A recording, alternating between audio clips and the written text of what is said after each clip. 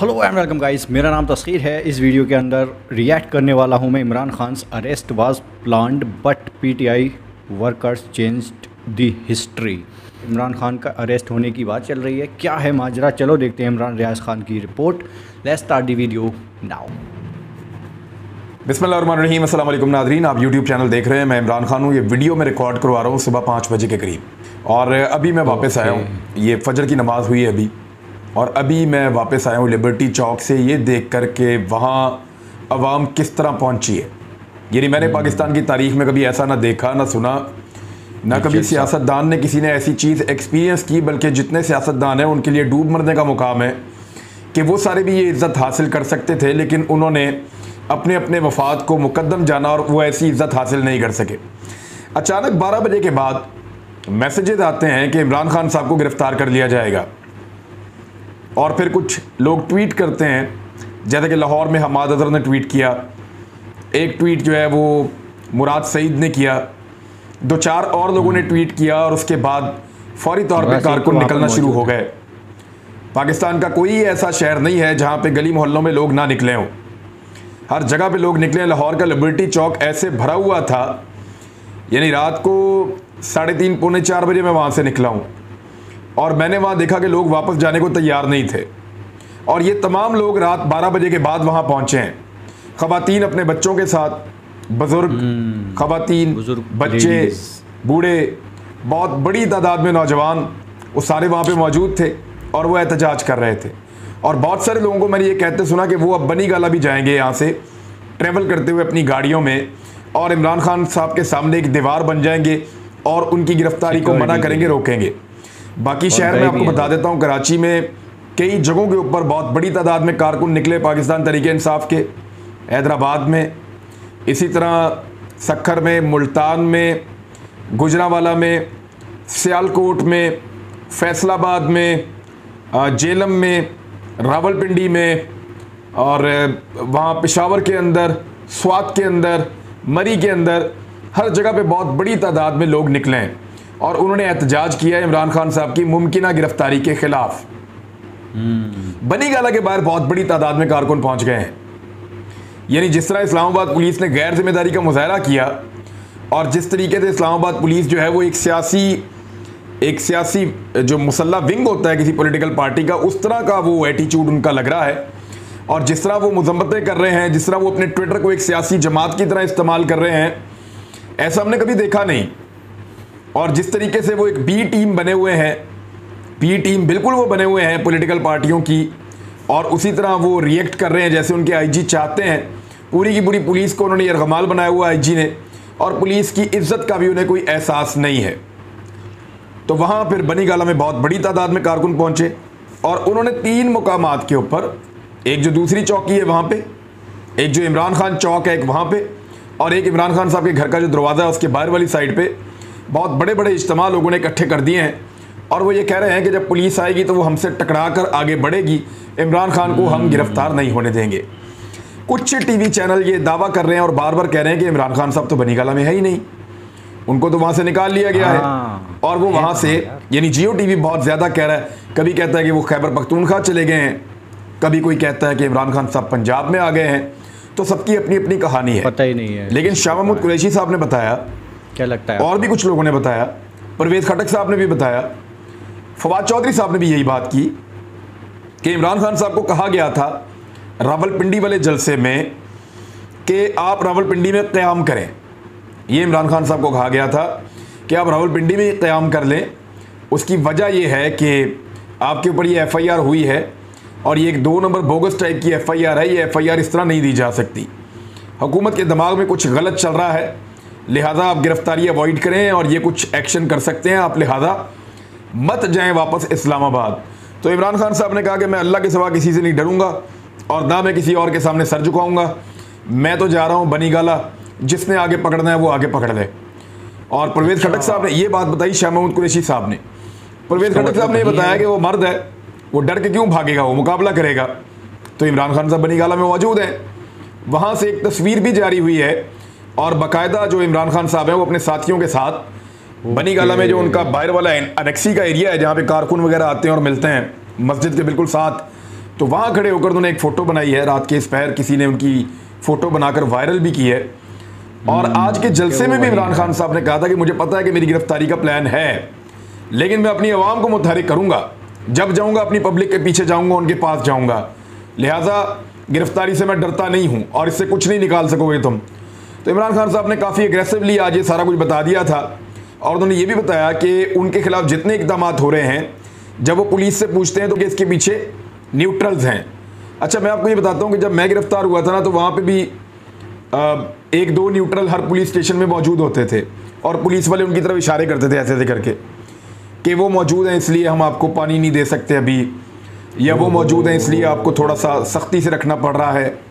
वो मौजूद हैं, इसलिए आपको कोई सहूलत नहीं दी जा सकती अभी। तो ये इस तरह की चीज़ें जो हैं, वो वो मुझे पुलिस वाले भी इशारे किया करते थे। तो इमरान खान साहब कह रहे हैं कि उनके पीछे ये सारे मामला चलाने वाले न्यूट्रल्स हैं, उनका ये अब एलिगेशन है इमरान खान साहब का। और जब मैं अंदर था, तब पुलिस वाले ये एलिगेशन न्यूट्रल्स पे लगाते थे। या तो वो पंजाब हुकूमत के कहने के ऊपर कर रहे थे, या मुमकिन है कि वहाँ पे वाकई न्यूट्रल्स होते हों, क्योंकि वो इशारे करते थे लोगों की तरफ़ कि सादा कपड़ों में यहाँ पे लोग मौजूद हैं। और उनकी वजह से हमारे ऊपर बहुत दबाव है।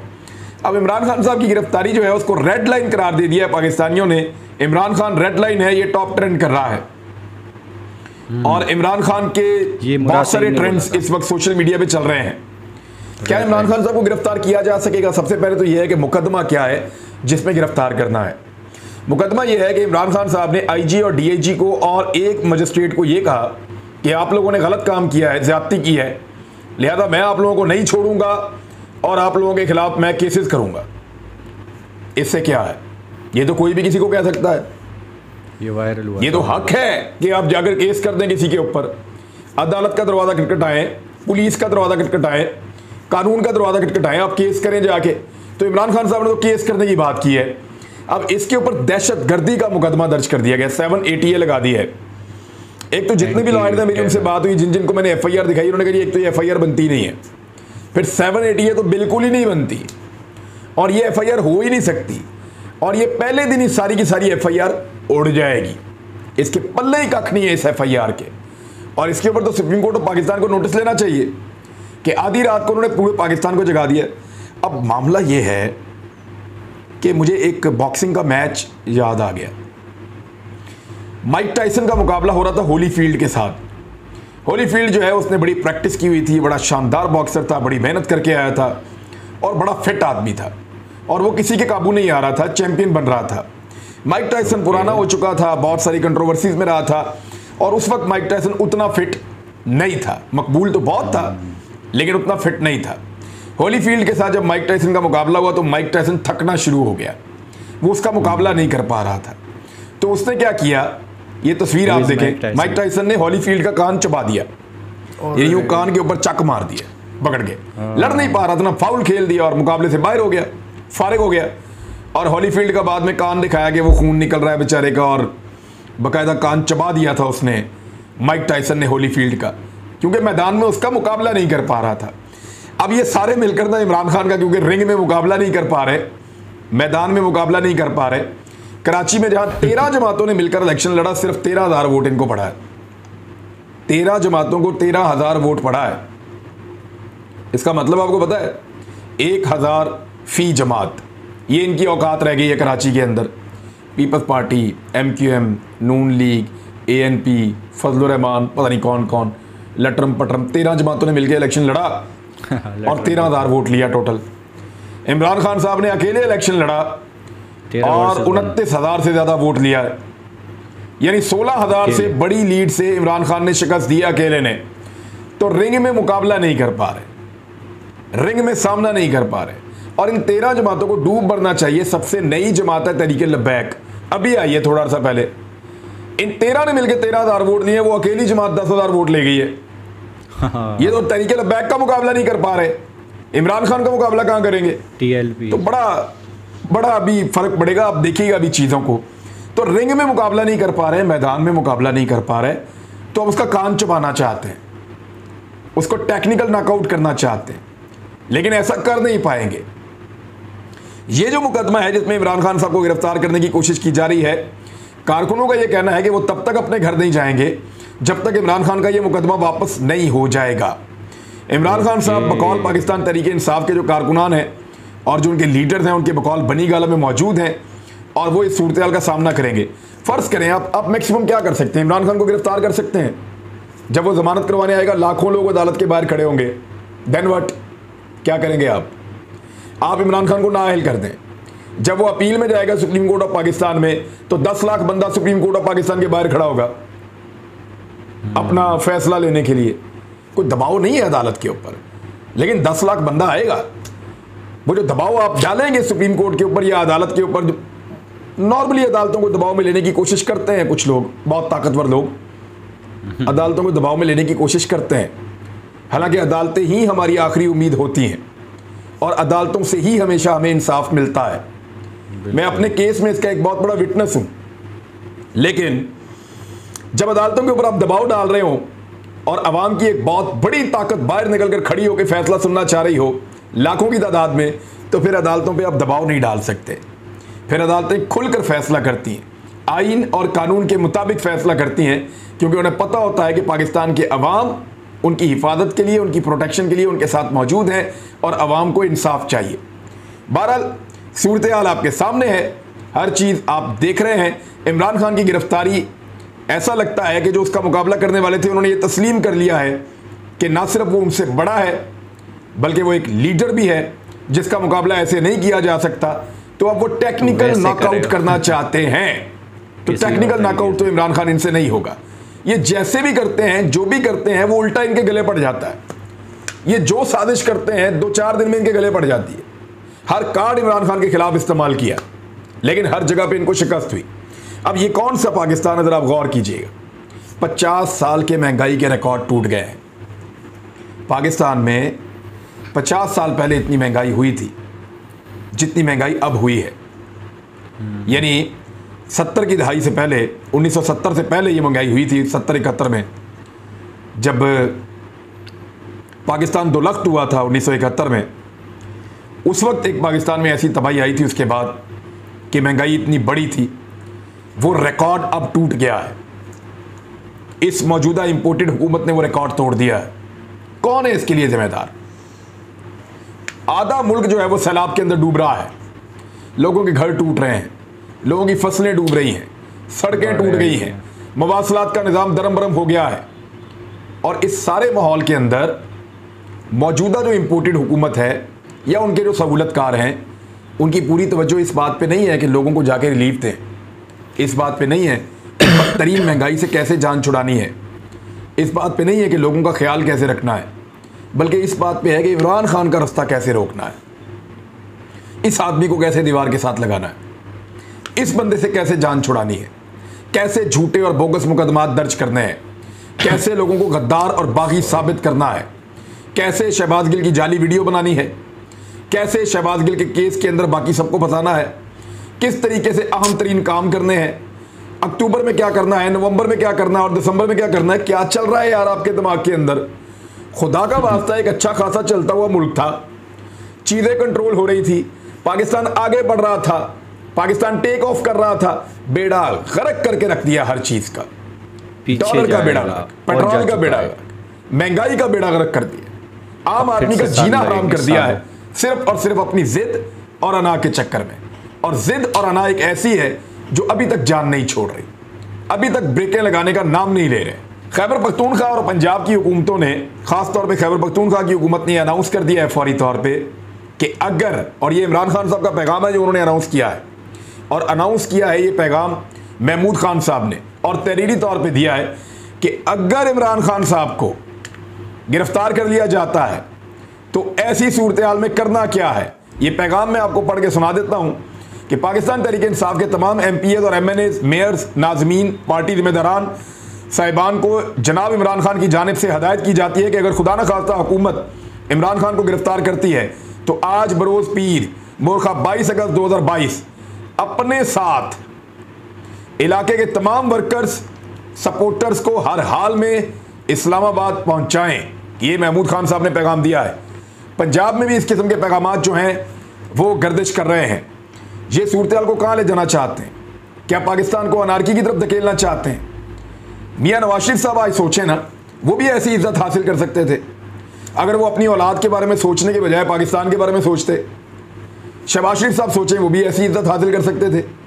अगर वो अपनी औलाद के बारे में सोचने के बजाय पाकिस्तान के बारे में सोचते फजल रहमान साहब भी ये इज़्ज़त हासिल कर सकते थे। अगर वो अपने बच्चों की वजारतों के बारे में सोचने के बजाय पाकिस्तान के बारे में सोचते, जरदारी साहब नहीं कर सकते थे। नहीं, वो वो ऑप्शन ही गलत है। वो नहीं कर सकते थे, चाहे वो जैसा मर्ज़ी कर लेते। बहरहाल, लेकिन अब आप इस बात पे अब गौर करें कि मियाँ वाशिफ साहब के दिल पे आज क्या गुजर रही होगी? जब इमरान खान ने बुलाया भी नहीं, और एक एक ट्वीट के ऊपर जो है, वो भी ट्वीट किसी वर्कर ने की उनके, और पूरा पाकिस्तान बाहर आ गया। और नवाज़ शरीफ साहब पैसे खर्च खर्च के, मिन्नतें कर कर के, टेलीफोन मिला मिला के, बजट भेज भेज के, गाड़ियाँ भेज भेज के, वैगने बसें भेज भेज के, बरयानियाँ, कीमे वाले नान, फिर भी बंदे नहीं निकलते थे। दिन की रोशनी में नहीं निकलते थे। इधर औरतें बनी गाला के दरवाजे पे बैठी हुई हैं, अपने बच्चे अपनी गोदों में लेकर, कि हमारी लाश के ऊपर से गुजरोगे तो जाके इमरान खान को गिरफ़्तार करोगे। इमरान खान को इन्होंने खुद एक मॉन्स्टर बना दिया अपने लिए। एक इतनी बड़ी मुसीबत बना लिया अपने लिए कि जो अब इनकी जान नहीं छोड़ेगी। देखिए, मैं आपको एक चीज़ बताता हूँ। मेरे एक सोर्स ने मुझे ये बताया कि थोड़े दिन पहले एक डिस्कशन हो रही थी एक जगह पे, और जुमले में आपको बता देता हूँ, जगह आप खुद ही समझ जाएँगे।